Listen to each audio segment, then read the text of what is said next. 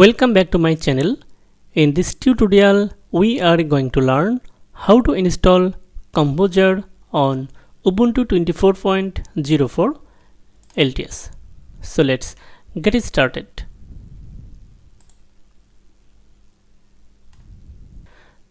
Composer in its latest version requires PHP 7.2.5 to run and a long-term support version still offers support PHP 5.3.2 plus in case you are stuck with a legacy PHP version.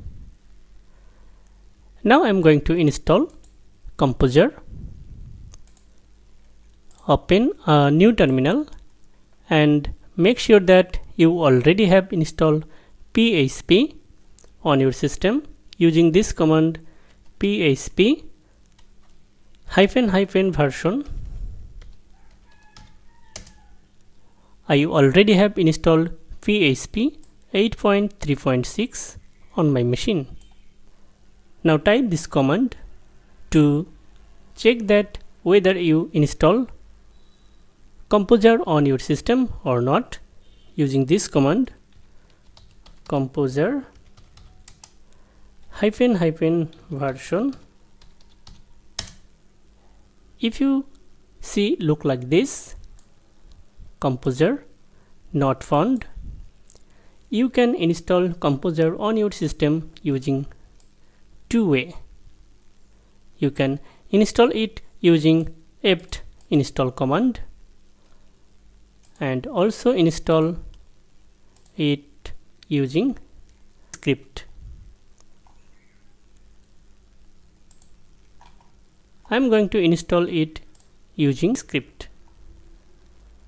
Simply copy this script and go back to terminal and paste this script here. Hit enter. It may take a while for downloading. Composer.phar okay. Composer 2.7.6 successfully installed on this directory. Now I'm going to move this file to this directory so that every user of my system can use composer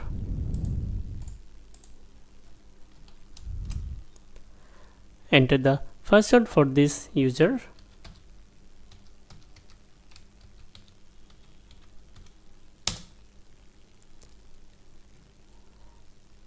Let's verify the installation using this command. That's it. Composer version 2.7.6 installed successfully with php version 8.3.6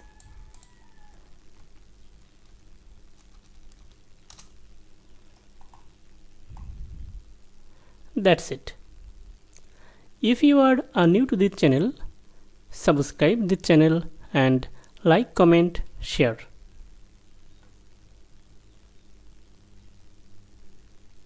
Thank you so much for watching this tutorial